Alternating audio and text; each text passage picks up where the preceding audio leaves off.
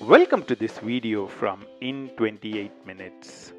Thanks for helping us provide awesome learning experiences to more than 300,000 learners across multiple platforms Udemy, Safari, and Packt. Let's welcome our lead instructor, Rangarao Karanam.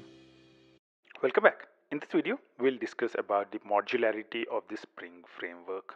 One of the important things about Spring is that it's not one big framework. So, what do I mean by that? During the example, when we looked at the modules which were present, so if you look at the Maven dependencies which are present in here, it's not one big Spring jar which is present. There are a lot of small jars which are present. Spring context, Spring AOP, Spring Beans. You would see other Spring stuff also right beneath. You can see Spring Core in here, Spring JCL and you also see the spring test module in here. So spring is not really one big framework. It's not like you have to use the entire spring framework or you don't use it at all. Spring is built in a very modular way. And this enables you to use specific modules without using the other modules of spring. Until now whatever we have been using is the core container of the spring framework. We were using spring beans core and context so we were creating an application context. We were using Spring to manage our dependencies, that's beans. These were the core container modules that we were using until now. So until now, whatever we have seen, the examples which we have seen until now are using the core container module. Spring also has very good integration with data and integration layers.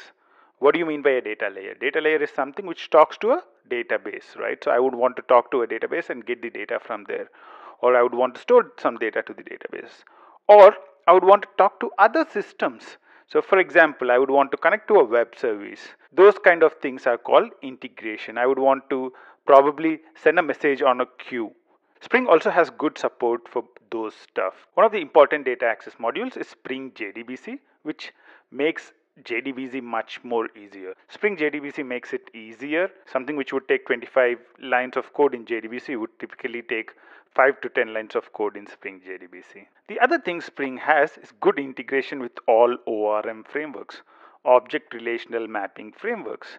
Some of the important object relational mapping frameworks are Hibernate and MyBatis. MyBatis is not really a true ORM framework, but it kinds of has some of the ORM features. Spring has good integration with them through the ORM module and Spring has good integration with JMS. So you want to talk to some other application over the queue, then through Spring JMS you'd be able to talk to the other application. You can put messages on the queue. And wherever object to XML transformation is needed in those kind of scenarios, Spring OXM provides a lot of useful features.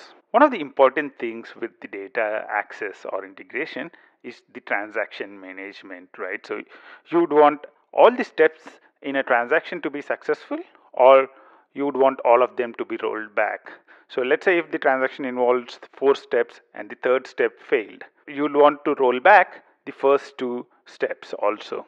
So Spring has great support for transaction management. The other important Spring modules are inside the web space. So Spring has really good connections with web frameworks like Struts. Spring also offers a web framework of its own. It's called Spring MVC.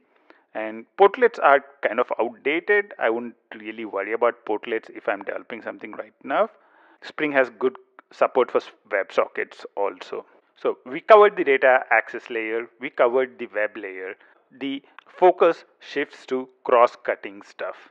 What do you mean by cross-cutting? Typically, when you talk about applications, they have multiple layers. So we looked at things in the web layer, we looked at things in the data layer. There are things which are applicable to more than one layer. Those are called cross-cutting concerns. One of the cross-cutting concerns is unit testing. You would want to be able to unit test things in the web layer, in the business layer, and the data layer as well. Those kind of things are called cross-cutting concerns. So as far as the test framework is concerned, Spring has good support for unit testing through the Spring Test framework. Spring also enables implementation of things like security, logging through aspect-oriented programming. So Spring has a module of its own called Spring AOP to do basic aspect-oriented programming If you want to do advanced aspect oriented programming with a framework like AspectJ, Spring provides really good integration with it as well. In this short video, we were looking at the different modules which are offered by the Spring framework. It has solutions for the web layer, it has solutions for business layer, data access layer, and it has solutions for cross-cutting concerns. Until the next step, bye-bye. In 28 Minutes is providing awesome learning experiences to 300,000 learners across platforms like Udemy, Safari Online and Packt. We have clocked million hours of learning in the last few months. The question is what do you want to learn next? We are building solutions to help programmers at all levels. You can learn programming with our awesome courses on Java, Python and JavaScript. You can learn full stack development with REST APIs and microservices with a wide range of frameworks like Spring Boot, Node.js, React, Angular, and Spring Cloud.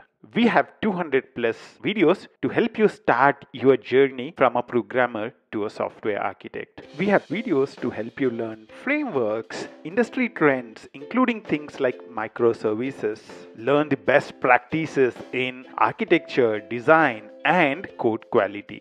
Thanks for watching. Keep learning in 28 minutes.